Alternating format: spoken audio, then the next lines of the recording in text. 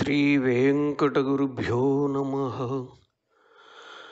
లక్ష్మీనాథసమారంభాం నాథయామునమధ్యమాం అస్మదాచార్యపర్యంతం వందే గురుపరంపరాం. రాముడు రక్షకుండు రఘురాముని నమ్మిన బంటు నేను నాకేమి భయంబు? చింతలిక ఏటికి ఏమి ఘటించినన్ రఘుస్వామిది కీర్తి? సత్యమిది సత్యమటంచు నా మనంబులో. నీ మహనీయ కీర్తి విని నిన్నెదనమ్మితి జానకీపతి. కరుణానిధి అయి రాఘవ శరణాగత జనములకు అజస్రము ప్రాపై శరనిధి లంఘించిన సుస్థిర బలు మారుతిని సిరియ తిరువడి గొలుతున్. व्यासं वसिष्ठनप्तारं सिक्तेः पौत्रमकल्मषं पराशरात्मजं वंदे शुकतातं तपोनिधिम् वंशीविभूषितकरातु नवनीरदाभातु पीताम्बरादरुणबिम्बफलाधरोष्ठातु पूर्णेन्दुसुन्दरमुखातु अरविन्दनेत्रात् कृष्णात् किमपि तत्त्वमहं न जाने। अग्रे कृत्वा कमपि चरणं जानुनैकेन तिष्ठन्। पश्चात्पाद्धं प्रणयसजुषा चक्षुषा वीक्षण्येन। सव्ये तोत्रं करसरसिजे दक्षिणे ज्ञानमुद्रां। यो बिभ्राणं रथमधिवसन्। पातु नः सूतवेषः। पार्थाय प्रतिबोधितां भगवता नारायणेन स्वयं व्यासेन ग्रथितां पुराणमुनिना मध्ये महाभारतम्। वेदान्तामृतवर्षिणीं भगवतीम् अष्टादशाध्यायिनीम् अम्बा त्वाम् अनुसन्दधामि भगवद्गीते भवद्वेषिणीम्। ओ मनसा మనము భగవానుడు అనుగ్రహించినటువంటి సర్వ వేదాంత సారమైన భగవద్గీతను కూడా తెలుసుకోవటానికి ప్రయత్నం చేద్దాం. ఈ భగవద్గీత మహాభారతము అని చెప్పబడే పంచమ వేదంలో భీష్మ పర్వంలో ఉన్నటువంటిది.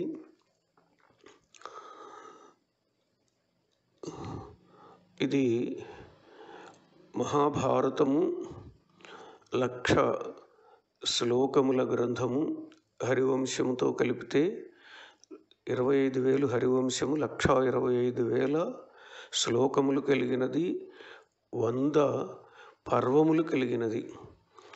పద్దెనిమిది ప్రధాన పర్వములు. అంతటి మహాగ్రంథం అంతటికీ కూడా భగవద్గీత హృదయము వంటిది. శ్రీ విష్ణు సహస్రనామ స్తోత్రము చూపు వంటిది నేత్రముల వంటిది. కనుక ముందు హృదయాన్ని పదిలం చేసుకుంటూనే ఆ విష్ణు సహస్రనామాన్ని కూడా అనుసంధానం చేసుకుందాం. దానికి శ్రీ పరాశర భట్టరు వారు వ్యాఖ్యానంతో ఆ నామాలను కూడా చెప్పుకుంటూ వెళ్దాం. దీన్ని దాన్ని ఈ గీతనేమో భగవద్ రామానుజుల వారి వ్యాఖ్యను అనుసరించి దానికి వేదాంత దేశకులు వారు రాసినటువంటి తాత్పర్య చంద్రికను కూడా కలుపుకొని అవసరమైన చోట్ల శంకర భగవత్పాదుల వారి భాష్యము మధ్వభాష్యము కూడా తీసుకుంటూ ఇంకా పెద్దలు అనుగ్రహించినటువంటి విషయాలను కూడా కలుపుకుంటూ మన అనుభవాన్ని కూడా జోడించుకుంటూ చెప్పుకుందాం. ఈ గీత అవతరణ భారతం నుంచి అవతరించిన విధానము ఒకటి చెప్పుకుందాం. ఆ తర్వాత భగవద్ రామానుజుల వారు అనుగ్రహించిన ఆ అవతారిక అది చెప్పుకుందాం. ముందు మహాభారతంలో ఎలా వచ్చిందో చూద్దాం ఒకసారి. ఆ భారత కథను సంగ్రహంగా మనము తెలుసుకోవటానికి ప్రయత్నం చేసినట్లయితే వ్యాస మహర్షి ఆది పర్వంలో ఆ రాజుల యొక్క చరిత్రలు చంద్రవంశపు రాజుల చరిత్రలు చెప్పుకుంటూ వచ్చాడు. శ్రీమద్ రామాయణమేమో సూర్యవంశపు రాజుల చరిత్ర. దానిలో రామచంద్రస్వామి రామచంద్ర స్వామి అవతరించిన గాథ. ఇక ఈ చంద్రవంశంలో శ్రీకృష్ణస్వామి ప్రధానముగా ఈ భారతమునకు ఆయనే నాయకుడు. మిగిలిన ఉపాఖ్యానములు అక్కడక్కడ ఉన్నటువంటి వాటికి ఇంకా వస్తూ ఉంటారు. ధర్మరాజుని కూడా నాయకుడుగానే చెబుతారు లక్షణకర్తలు. కానీ భారతాన్ని నారాయణ కథాం ఇమాం అంటాడు సూత మహర్షి వైశంపాయనుడు. వ్యాసమహర్షి కూడా ఇది నారాయణ కథ అన్నారు. కనుక ఆ నారాయణుడైన శ్రీకృష్ణుడే అవతరించినటువంటి చంద్రవంశపు గాథ ఆ రాజుల చరిత్రలన్నీ విస్తారంగా చెప్పుకుంటూ వస్తాడాయన. మధ్యలో శకుంతల కుమారుడు దుశ్శకుంతల దుష్యంతుల కుమారుడు భరతుడు ఆయన వంశం కూడా భరత వంశం పేరుతో వినబడుతూ ఉంటుంది దీనినే. అలాగే భరతులు అనేవాళ్ళు మనకి ఋషభుని కుమారుడు భరతుడు ఒక ఆయన ఈ భూమిని పరిపాలన చేసినటువంటి ఆయన భరత వర్షము భరత ఖండము అంటూ చాలా పేర్లు ఉన్నాయి దీనికి.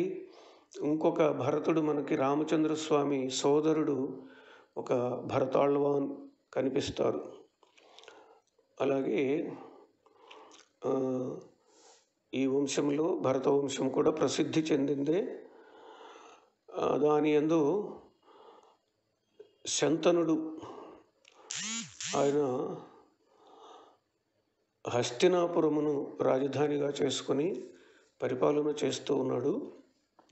ఆయనకి గంగా నదికి ఆయనకి అష్టవసువులు శాపవశం చేత ఏడుగురు వెళ్ళిపోతారు. పుట్టినవారు ఆ ఇద్దరికి పుట్టినవారు.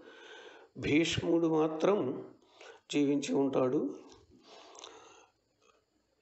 ఆ గంగ భీష్మాచార్యులకి సకల విద్యలు నేర్పించి నీకు పంపిస్తానని చెప్పి పరశురాముని వద్ద విద్యలన్నీ కూడా నేర్పించి వశిష్ఠ మహర్షి వద్ద విద్యలు నేర్పించి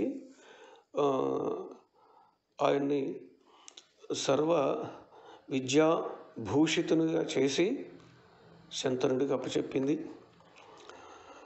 గంగ వెళ్ళిపోయిన తర్వాత ఈ శంతనుడు మరల సత్యవతి అనేటటువంటి ఒక దాశరాజు కుమార్తెను చూసి పెళ్ళి చేసుకోవాలి అనుకుంటాడు. కానీ ఆ దాశరాజు ఈ శంతనునికి వివాహ వయస్కుడైనటువంటి కుమారుడు ఉన్నాడు. అతడే రాజు అవుతాడు నేను పిల్లనిచ్చినా కూడా మా అమ్మాయికి ఏ రకమైనటువంటి పుట్టిన బిడ్డలకి ఏం ఉపయోగం ఉండదు. కనుక ఈటానికి అతడికి మనస్కరించదు. ఈయన దిగులుతో ఉంటాడు శంతనుడు. ఈ విషయాన్ని తెలుసుకున్నటువంటి దేవవ్రతుడు అసలు ఆయన పేరు. ఇంకా మనము ఏదో వాడుకలో భీష్ముడు భీష్ముడు అంటూ ఉంటాం అప్పటికి ఉన్నటువంటి పేరు దేవవ్రతుడు. ఆయన ఈ దాసరాజు దగ్గరికి వెళ్ళి మా తండ్రి గారికి నీ కుమార్తెను ఏవయ్యా నాకు తల్లిగా నేను తీసుకెళ్తాను నా వెంట పంపించు అన్నాడు. అయితే మరి ఇష్టానికి ఇస్తానికి అభ్యంతరం లేదు కానీ నా కుమార్తెకు పుట్టినటువంటి వారికే రాజ్యం కావాలి అన్నాడు ఆయన. ఓ దాని ఏముంది ఇచ్చేస్తా రాజ్యం నాకు అవసరం లేదు. అలాగే అన్నాడు. అయితే నీకు అవసరం లేదు నిజమే కానీ మరలా నీకు పిల్లలు పుడితే ఇది మా తండ్రి రాజ్యము అంటూ వాళ్ళు వస్తే మరి అక్కడ కలహాలే కదా తగాదాలే కదా అయ్యేది. మరి ఇది ఎలా కుదురుతుంది అంటాడు మళ్ళీ. చూడండి ఈ ఒక్క విషయాన్ని ఇక్కడ గమనించండి. ఏ రకరకాలైనటువంటి ఆ శాపాలు ఈ శాపాలు పక్కన పెట్టండి. కథని మనం చూసుకుంటూ జరిగిన కథని చెప్పుకుంటూ వెళ్ళేటట్లయితే ఇది ఎంత అన్యాయం ఇది. భీష్ముడికి కూడా పిల్లలు పుట్టకూడదా? తన కుమార్తెకు పుట్టిన వారికి రాజ్యం ఇస్తానని భీష్ముడు మాట ఇచ్చాడు. తన సంతానాన్ని ఆయనేమి అసమర్థుడు కాదు కదా. కావాలంటే ఇంకా రాజ్యాలు ఏవైనా జయించి వాళ్ళ బిడ్డలకి ఇస్తాడు. తాను మాత్రం ఈ పిల్లలకి ఈ రాజ్యమే ఉంచుతాడు. అంతటి శక్తిమంతుడు భీష్ముడు. అయినప్పటికీ కూడా ఇలా కోరేటప్పటికీ అప్పుడు ఆయన ప్రతిజ్ఞ చేశాడు నేను వివాహం చేసుకోను అని. దాన్ని భీష్మ ప్రతిజ్ఞ అంటారు. దేవతలు కూడా సంతోషించి పుష్పవర్షాన్ని కురిపించారు. అయితే వివాహం చేసుకోను అన్నాడు. బాగానే ఉంది. అంత అంతవరకు ఇబ్బంది ఏం లేదు. ఆయన అస్ఖలిత బ్రహ్మచారి. సరే ఆ సత్యవతిని తల్లిగా తన రథం మీద ఎక్కించుకుని వచ్చి తండ్రికిచ్చి వివాహం చేశాడు. ఈ విషయం తెలుసుకున్నటువంటి తండ్రి నీకు ఒక వరం ఇస్తున్నానన్నా స్వచ్ఛంద మరణము మృత్యువు నీ దరి చేరదు. నీవు రమ్మంటేనే వస్తుంది లేదంటే నీ దగ్గరికి రాదు అనేటటువంటి వరమిచ్చాడు ఆయన. తపశ్శక్తి రాజులు రాజులకు ఉంటుంది. ఒకవేళ వారు తపస్సు చేయకపోయినా కూడా ఆ రాజ్యము ధర్మంగా పరిపాలన చేస్తూ ఉంటే ఆ రాజ్యంలో ధర్మము ఆచరించేటటువంటి వారి అందరి నుండి కూడా ఆరవ వంతు ఈ రాజుగారికి వస్తుంది. కనుక ఋషులు చేసే తపస్సులు ప్రజలు చేసే ధర్మకార్యములు ఆ ఫలమంతా ఆరో వంతు వస్తుంది కనుక రాజులకు ఆ తపశ్శక్తి ఉంటుంది.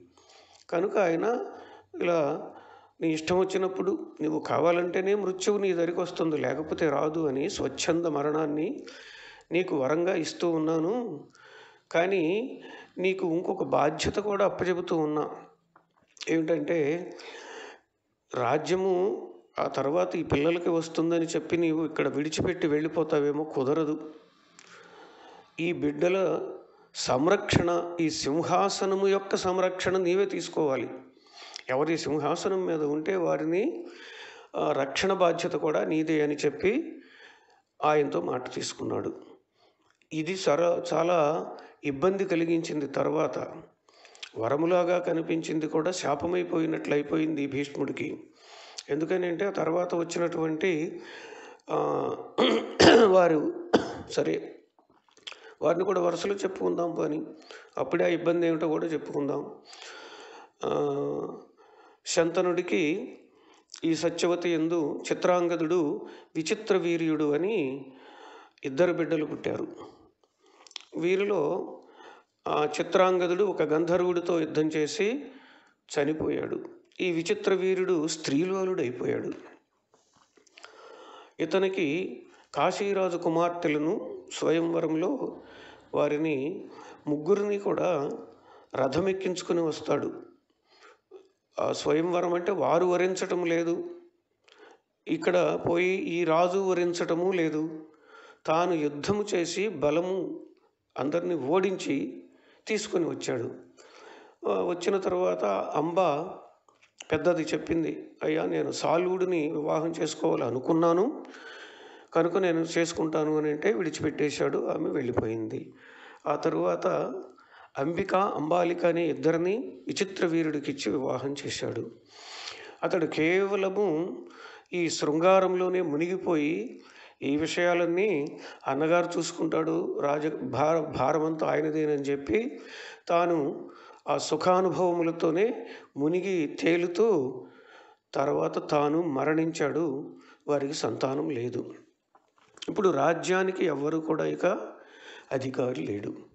సత్యవతి భీష్ముడిని వివాహం చేసుకోమన్నది. అది జరిగే పని కాదు. నేను పూనిన ప్రతిజ్ఞ విడిచిపెట్టను అన్నాడు ఆయన. మరికేం చేయాలి అని అంటే ఈ సత్యవతికి పరాశర మహర్షి వలన వ్యాస మహర్షి ఎప్పుడో పుట్టి ఉన్నాడు ఇంతకుముందే ఆయన తపస్సు చేసుకోవడానికి వెళ్ళాడు. ఆ తల్లితో ఎప్పుడు తలంచితే అప్పుడు వస్తాను అని చెప్పాడు. ఈ కథలు విస్తారంగా భారతం చెప్పుకుంటే దాంట్లో చెప్పుకోవచ్చు. మనం అన్నీ చెప్పుకుందాం వీలైనంత ఆ భగవంతుడు అనుగ్రహించినంత కాలము చెప్పుకుంటూనే ఉందాం.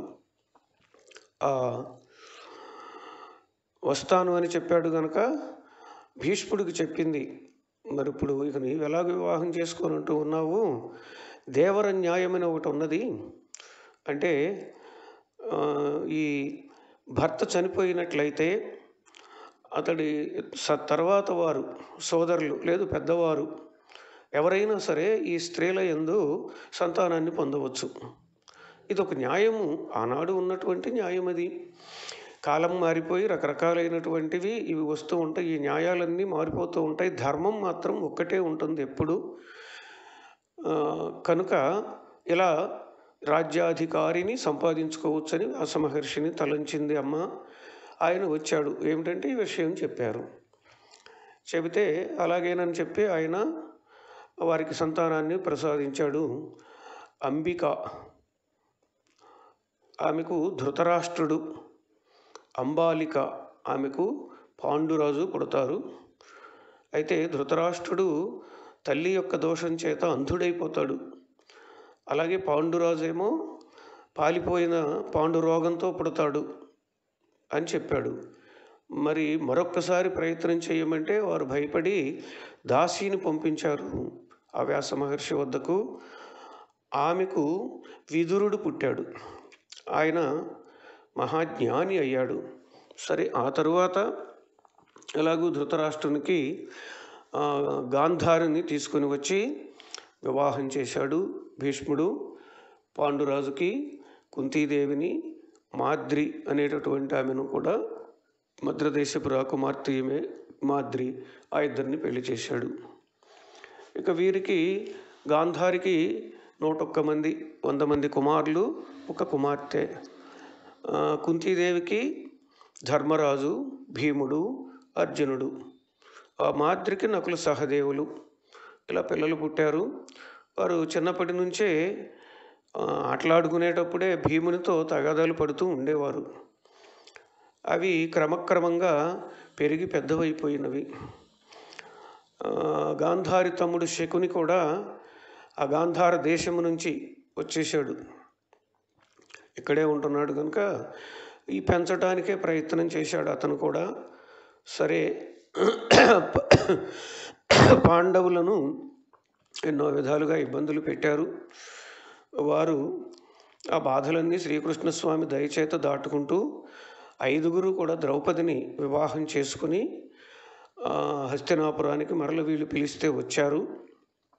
సరే తండ్రి భాగము పాండురాజు చాలా సంపాదించాడు. తర్వాత రాజ్యాన్ని విస్తరింపచేశాడు మాకు కూడా భాగం ఇస్తే సరే మేము వేరే ఉంటాము అన్నాడు ధర్మరాజు. అతనికి సగభాగంగా ఖాండవ వనము ఒకటి అడవిని ఇచ్చాడు. ఆ అడవిని ఇస్తే ఇచ్చాడులే పెద్ద తండ్రి ఇచ్చాడు. అని చెప్పి ధర్మరాజు మరుమాట మాట్లాడకుండా వచ్చేశాడు శ్రీకృష్ణస్వామి సహాయంతో. ఆ ఇంద్రుని యొక్క అనుగ్రహంతో కూడా అక్కడ ఇంద్రప్రస్థము అనేటటువంటి మహానగరాన్ని నిర్మించారు. చాలామంది చేరిపోయారు అక్కడ నగరానికి. తర్వాత రాజసూయ యాగం కూడా చేశారు వీరు. ఆ యాగంలో మొత్తం రాజులందరినీ జయించారు.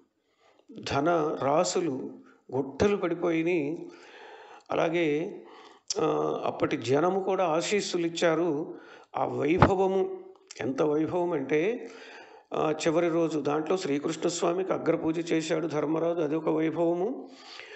ఆ రాజులందరూ తెచ్చిన కానుకలు ఇచ్చి వెళ్ళటానికి ద్రుపద మహారాజు అంటే ఈ పాండవులకు మామ ద్రౌపది తండ్రి శ్రీకృష్ణస్వామి ఇద్దరు కూడా ఆ ద్రుపదుడిని చెప్పాడు శ్రీకృష్ణస్వామి బాబాయ్ ఈరోజు మనం ఇక్కడ ఉండాలి. ధర్మరాజుకు తెచ్చేటటువంటి కానుకలను అక్కడ గ్రహించి ఆ తరువాత ఈయన దర్శనం చేసి వెళ్ళేటటువంటి రాజులని అవతలకు పంపిస్తూ త్వరగా పంపిస్తూ ఉండాలి. వేగంగా జరగకపోతే చాలా టైం సమయం పట్టేటట్టు ఉంటుంది అని చెప్పాడు ఆయన. అలాగే అని చెప్పారు. అక్కడ శ్రీకృష్ణ స్వామి ఆ మొదట వచ్చేటటువంటి వారు ఇచ్చే కానుకలన్నీ అక్కడ తీసుకోవటము. అక్కడ బంట్రోతు వేషం కూడా వేసుకున్నాడని చెబుతారు. బిళ్ళా బంట్రోతులాగా ఈ దా ద్రుపదుడికి కూడా వేయించాడు వేషము అని. ఈ వచ్చేవారివి కానుకలన్నీ అక్కడ రాసుకోవటము. అదిగో ఆ ప్రభువుని దర్శించండి అంటము. అవతల ద్రుపదుడు లాగి పారేయటము. ఆ వెంకటేశ్వర స్వామి దర్శనములాగా ఆ దర్శనం కూడా ఏదో లఘు దర్శనములాగా మహావేగంగా అయిపోవాలి అని చేస్తూ ఉన్నారు. మునులు నృపులు చూడ మును ధర్మజుని సభా మందిరమున యాగ మండపమున చిత్రగతులతోడ చెలువందు దేవాది దేవుడమరు.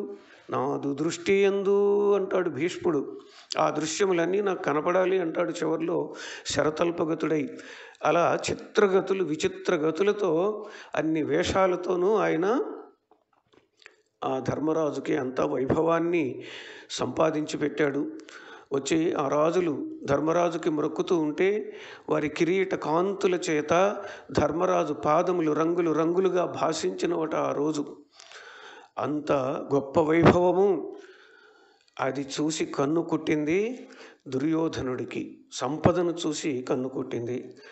ఆ మేనమామ శకుని సహాయంతో మాయాజూదము ఆ తర్వాత మాయాజోదంలో అంటే పాశికలు ఎలా కావాలంటే అలా పడతాయి శకునికి.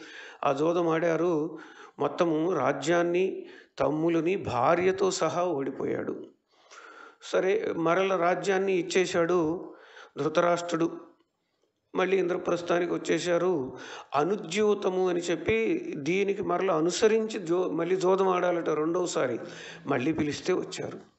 ఈసారి ఏమిటి పందెమనంటే ఓడిపోయినటువంటి వారు పన్నెండు సంవత్సరములు అరణ్యములలో ఉండాలి. ఒక సంవత్సరము ప్రజలు నివసించే ఊరులలో ఉండాలి. జనపదములు రాజ్యముల్లో ఉండాలి. కానీ తెలియకూడదు. వారు ఫలానా అని ఎవరు ఓడిపోతే వారు తెలియకూడదు. అజ్ఞాతము తెలియకుండా ఉండాలి. ఒక సంవత్సరం ఉండాలి అది. ఈ అజ్ఞాతవాసంలో కానీ ఎవరైనా సరే ఆ అజ్ఞాతవాసం పడిన వారు బయటపడితే మళ్ళీ పన్నెండు సంవత్సరాలు అరణ్యవాసం చేయాలి మళ్ళీ అజ్ఞాతవాసం చేయాలి. ఇలా కోరుకున్నారు. సరే బుద్ధి కర్మానుసారిణి అంటారు కదా అసలు ఓడిపోయిన వారు మొత్తం వదిలిపెట్టి పోవాలని కోరినా కూడా ధర్మరాజు అందుకు సిద్ధంగానే ఉన్నాడు. కానీ అవి అలా అనటానికి ఆ మాట రాలేదు మరి. అంటే ఏ కర్మ ఎలా ఉంటుందో అలాగే వస్తూ ఉంటుంది. మనం ఎన్ని చెప్పినా కూడా హృషికేశుడు హృదయంలో ఉంటాడట. ఆయనే ఆ సంకల్ప వికల్పాలను కల్పిస్తూ ఏ వాడి కర్మ ఎవడి కర్మ ఎలా ఉంటుందో వాడికి పెంచి పెడుతూ ఉంటాడు ఆయన. అందువలన అలాంటి ఆలోచన రాలేదు పాపం వాళ్ళకి. ఎందుకనంటే ఆ అజ్ఞాతవాసంలో బయటపడకుండా ఉంటారా ఈ పాండవులు? మరి భీముడు అసలు ఎక్కడ దాక్కుంటాడు? భారీ శరీరం. వారి పౌరుషాలు ఎక్కడికి పోతాయి? ఎక్కడ సేవ చేయగలుగుతారు అని వీళ్ళ భావం. పందెం వేశారు. ఎలాగూ ధర్మరాజు ఓడిపోతాడు అనేది అందరికీ తెలుసు. అయిపోయింది ఓడిపోయాడు. ఆ పన్నెండు సంవత్సరాలు అజ్ఞాత అరణ్యవాసం చేశారు. ఒక సంవత్సరం ఆ విరాటరాజు కొలువులో అజ్ఞాతవాసము చేశారు. సరే చివరిలో దక్షిణ గోగ్రహణం ఉత్తర గోగ్రహణం అయిపోయింది. ఉత్తర గోగ్రహణం రోజున అర్జునుడు బయటపడ్డాడు. ఇంకా అప్పటికి పూర్తి కాలేదు. అజ్ఞాతవాసం అంటాడు దుర్యోధనుడు. అయిపోయిందని లెక్క చెప్పేశాడు భీష్ముడు. అయినా సరే ఇది తగాదగా మారింది మళ్ళీ. రాయబారాలు అయిపోయినాయి. కానీ ఏమీ ఫలించలేదు. ఎవరి రాయబారాలు కూడా? జగదీశ్వరుడు కూడా వచ్చాడు. కానీ అయితే ఆయన ప్రయత్నం శ్రీకృష్ణస్వామి ఆయన సంకల్పము కావాలని ఆయన ఏమి అనుకోడు కనుక అది వీరిని కర్మానుసారంగా నడుస్తూ ఉంటుంది కనుక ఆయన రాయబారం కూడా ఏమీ ఫలించలేదు. చివరికి ఏమైందనంటే యుద్ధము. ఈ యుద్ధము అమావాస్య రోజున యుద్ధం అని పెట్టుకుని యుద్ధానికి మరి అమావాస్య కదా కావలసింది. ఆ అమావాస్య నాడు నిర్ణయించుకొని కురుక్షేత్రంలో యుద్ధము అన్నారు. కురు మహారాజు యజ్ఞం చేసినటువంటి ప్రదేశం అది. ఆ కురుక్షేత్రంలో యుద్ధం. ఆ కౌరవులకి పదకొండు అక్షౌహిణీల సైన్యము పాండవులకు ఏడు అక్షౌహిణీల సైన్యము చేరింది. ఆ తరపున ఈ తరపున మొత్తం వచ్చేవారు యుద్ధరంగంలో నిలబడ్డారు. ఈ నిలబడినటువంటి రెండు వైపులా కూడా వ్యూహములు తీర్చి దిద్దుకుంటూ ఉన్నారు. యుద్ధానికి సిద్ధపడి. సరే ఇక ఇక్కడ ఇంతవరకు మహాభారతం యొక్క ఔపోద్ఘాతాన్ని భారతానుసారంగా చెప్పుకున్నాం.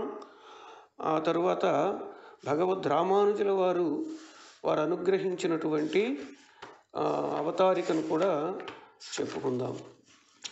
యో నిత్యమచ్యుత వ్యామోహతస్తదితరాణి తృణాయ మేనే అస్మద్గురోద్భగవతోస్య దయైక సింధో రామానుజస్య చరణౌ శరణం ప్రపంచే అది రామానుజుల వారి ప్రార్థన ఇక వారు ప్రార్థన చేశారు వారి భాష్యానికి. యత్పదాంభోరుహధ్యాన విధ్వస్తాశేషకల్మష వస్తుతాం ఉపయాతోహం. యామునేయం నమామితం యామున మహామునులు ఆయనకి పరమాచార్యులు. ఆయన శిష్యులు ఐదుగురు ఈయనకి గురువులు. ఆయన పాద పద్మముల ధ్యానము చేత కల్మషములన్నింటినీ కూడా పోగొట్టుకున్నాను నేను. ఒక వస్తువుగా అయ్యాను నేను అని ఆయనకి నమామి నేను నమస్కరించుతూ ఉన్నాను అని నమస్కారము చేశారు ఆయన. ఇక్కడ చెప్పాల్సినటువంటి ఒక విషయము ఇదేమి అసందర్భం కాదు. మాకు గ్రంథము సంస్కృతము అనుగ్రహించినటువంటి ఆచార్యులు కవి భట్టారక శ్రీమాన్ దాశరథి సూరి విష్ణుదాస స్వామి వారు. వారి తండ్రి గారి జీవిత చరిత్ర తపోమహిమ అనే పేరుతో వారు రాశారు. అక్కడ ఆయన కూడా ఈ ఈ శ్లోకమును తమ తండ్రి గారి ప్రార్థనకు ఉపయోగించారు. అక్కడ చేశారు జ్ఞానసూర్యోదయ పీఠికలో ఎక్కడో మరి రెండు చోట్ల కానీ మొత్తం మీద ఇదే విషయం ఇదే శ్లోకం యత్ పదాంభోరుహధ్యాన విధ్వస్తాశేష కల్మష వస్తుతాం ఉపయాతోహం వెంకటాఖ్యం నమామితం అన్నారు ఆయన. అంటే వారి తండ్రి గారు వెంకటదాస స్వామి వారు భాష్యకార సమాజ స్థాపకులు వారు. కనుక వా- వారి వలన నేను ఒక వస్తువుగా అయ్యాను అంటారు వీరు. అంటే వీరికి విద్యలు మహావేగంగా వచ్చి వరించిన వీరిని ఆ శాస్త్ర పరిశ్రమ వలన హృద్రోగము అంటే గుండె జబ్బు ఏర్పడింది వారికి ఎన్ని మందులు వాడినా కూడా తగ్గలేదు. ఇక ఇవి ఫలించేది లేదు ఈయనకి. ఈయన అసలు ఇక ఉండరు అని కూడా చెప్పారు డాక్టర్లు. అలాంటి వారికి ధైర్యాన్ని కల్పించి వారు దైవంతో హోరాహోరిగా పోరాడి నాకంటే ముందు నిన్ను తీసుకెళ్ళడు దైవము అని చెప్పి వారు జపం చేసి అందరి చేత శిష్యుల చేత కూడా జపాలు చేయించి గురుపుత్రుని ఆరోగ్యము కొరకై అంటూ జపము రామము జపం చేసేవారు రామమంత్రమే ఎక్కువ చేసేవారు. అలా చేయించారు. ఆ తర్వాత వేదాద్రి నారసింహ శతకము వీరి ఆరోగ్యం కోసం వారు ఆరోగ్య ప్రదాత నారసింహస్వామి సులభంగా కూడా అనుగ్రహిస్తాడు అని ఒక శతకాన్ని కూడా చెప్పారు. దాంట్లో నా కుమారునికి ఈ ఆరోగ్యం ఇమ్మని ఆయు ఆరోగ్యము ఇమ్మని చెబుతారు చివరి పద్యాలలో. కనుక అలా పోరాడి నిలబెట్టారు అని అంటారు. వీరే అంటారు వారి దయ వల్లనే నేను ఇలా నిలబడ్డాను అని చెప్పి ఈ శ్లోకాన్ని వారు అక్కడ ఉట్టంకించారు. ఎందుకోసం ఇది అని అంటే అంత గొప్పది ఇది. యామునమునుల యొక్క వేసిన బాటలు ఆ బాటలే రామానుజుల వారు విస్తారంగా చేశారు. అది వారి చరిత్రలో చెప్పుకుందాం. అంతటి శ్లోకమును మరలా తీసుకొని వచ్చి వీరు ఇక్కడ చెప్పుకున్నారని అంటే ఎంత గొప్పగా వారి హృదయంలో ఇది నాటి ఉన్నదో తెలుస్తూ ఉన్నది కనుక అంత గొప్పది ఈ శ్లోకము. ఇక వారి యొక్క అవతారిక. శ్రేయఃపతి నిఖిలహేయ ప్రత్యనీక కళ్యాణైకతాన శ్వేతర సమస్త వస్తు విలక్షణానంత జ్ఞానానందైకస్వరూప स्वाभाविक अनवधिक अतिशय ज्ञान, बल, ऐश्वर्य, वीर्य, शक्ति, तेज, प्रभृति, असंख्येय, कल्याण, गुण, गण, महोदधि। स्वाभिमतानुरूपैक अचिंच दिव्याद्भुत, नित्य, निरवज्य, निरतिशय उज्ज्वल्य सौंदर्य, लावण्य, यवनादि, अनंत गुणनिधि दिव्य रूप स्वोचित विविध विचित्र, अनंत, आश्चर्य, नित्य, निरवज्य, अपरिमित दिव्य भूषण स्वानुरूप असंख्येय अचिंच शक्ति नित्य निरवज्य निरतिशय कल्याण दिव्यायुध। स्वाभिमतानुरूप नित्य निरवज्य स्वरूप गुण विभव ऐश्वर्य शैलादि अनवधिक अतिशय असंख्येय कल्याण गुणगण श्रीवल्लभ। स्वसंकल्प अनुविधाय स्वरूप स्थिति प्रवृत्ति भेद अशेष शेषतैक रतिरूप नित्य निरवज्य निरतिशय ज्ञान क्रिया ऐश्वर्यादि अनंत गुण गण अपरिमित सूरिभिः अनवरत अभिष्ठुत चरणयुगलः वाङ्मनसपरिच्छेद्य स्वरूपस्वभावः स्वोचित विविध विचित्र अनंत भोग्य भोगोपकरण भोग स्थान समृद्धानंताश्चर्यानंत महाविभवानंत परिमाण नित्य निरवध्य अक्षर परम व्योम निलय विविध विचित्र भोग्य भोक्तृवर्ग परिपूर्ण निखिल जगदुदय विभवलय लील परम ब्रह्म पुरुषोत्तम नारायण ब्रह्मादिस्थावरान्तम् अखिलं जगत् सृष्ट्वा स्वेन रूपेण अवस्थितः। ब्रह्मादिदेव मनुष्याणां ध्यान आराधनादि अगोचरः। अपारकारुण्यसौशील्यवात्सल्य औदार्यमहोदधिः स्वमेव रूपं तत्तत् सजातीयसंस्थानं स्वस्वभावम् अजहत् एव कुर्वन्। तेषु तेषु लोकेषु अवतीर्य अवतीर्य तैः तैः आराधितः। तत्तत् इष्टानुरूपं धर्मार्थकाम मोक्षाख्यम फल प्रय्छन भूभार अवतरण अपदेशन अस्मदादीनामपि समाश्रयणीयत्वाय अवती उर्व्यां सकलमनुजनयन विषयताङ्गतः।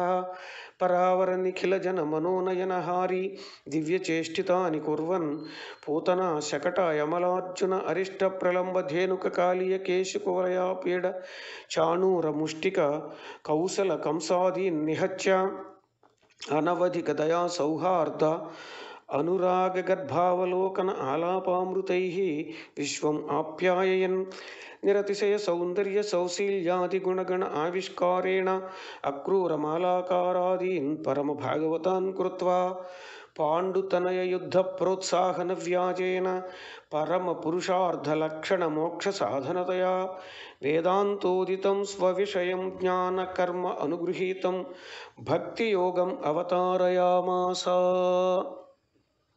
ఇక్కడికి వచ్చిందండి ఆ, పులి స్టాప్ ఇక్కడికి ఇక్కడ వరకు ఒకటే ఆ, ఆ విషయము తత్ర పాండవానాం కురూణాంచ యుద్ధే ప్రారబ్ధే స భగవాన్ పురుషోత్తమ సర్వేశ్వర జగతోపకృతిమర్చ్య ఆశ్రితవాత్సల్య వివశ పార్థం రథినం ఆత్మానం చ సారథిం సర్వలోకసాక్షికం చకార ఏం జ్ఞాత్వా అపి సర్వాత్మన అంధః ధృతరాష్ట్రः सुयोधन विजय बुभुत्सया संजयं अद श्रीमद्भगवद्गीतायाम् अध प्रथमाध्यायः। अर्जुनविषादयोगः धृतराष्ट्र उवाच। धर्मक्षेत्रे, कुरुक्षेत्रे समवेतायुयुत्सवः मामकाः पांडवाश्च किमकुर्वत संजय?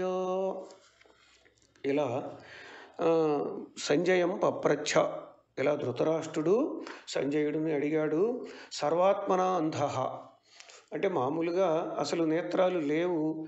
అలే పైన కళ్ళు లేకపోయినా లోపల జ్ఞాన నేత్రము మనసు అది కూడా లేదు ఇతడికి. అన్ని విధాల అంధుడు అంటారు రామానుజుల వారు. ఈ విషయములన్నీ కూడా వివరంగా చెప్పుకుంటూ వెళ్దాం. ఈ రోజున ఆరంభించుకున్నాం కనుక భగవద్గీతలోని ఆ మొదటి శ్లోకాన్ని కూడా రామానుజుల వారు చెప్పిన రీతిలోనే అనుసంధానం చేసుకున్నాము. తర్వాత మనము దీన్ని చెప్పుకుంటూ ముందుకు సాగుదాము. శ్రద్ధగా వినండి. ఇదేదో ఒక కథలాగా అంత తేలికగా అర్థమయ్యేది కాదు. అయితే లోకంలో ఎందరో ఉన్నారు ఇప్పటి వరకు చెప్పిన వారు ఉన్నారు. సరే వారి వారి మతానుసారంగా భాష్యానుసారంగా వారికి వారికి తోచిన రీతిలో కూడా చెప్పుకుంటూ వెళ్ళిపోయారు. సరే అదంతా మనకి అనవసరం. మనము తెలుసుకోవాలి అనుకొని ఈ విశిష్టాద్వైత సిద్ధాంతములను అలాగే భగవాను యొక్క అభిమతం అసలు ఏమిటి? ఆ శ్రీకృష్ణ స్వామికి కూడా ఒక అభిమతం ఉన్నది. ఆయన చెబుతాడు దాంట్లో ఇది మే మత మత మతము అంటాడు ఆయన. ఇది నా మ- మతము సుమ అంటాడు. అవన్నీ కూడా వరుసనే మనం తెలుసుకుందాం. శ్రద్ధగా చక్కగా వినండి. ఒకటికి రెండు సార్లు వినండి. ఇది ఎలాగూ మీకు యూట్యూబ్లో ఉంటుంది కనుక స- చక్కగా వినండి.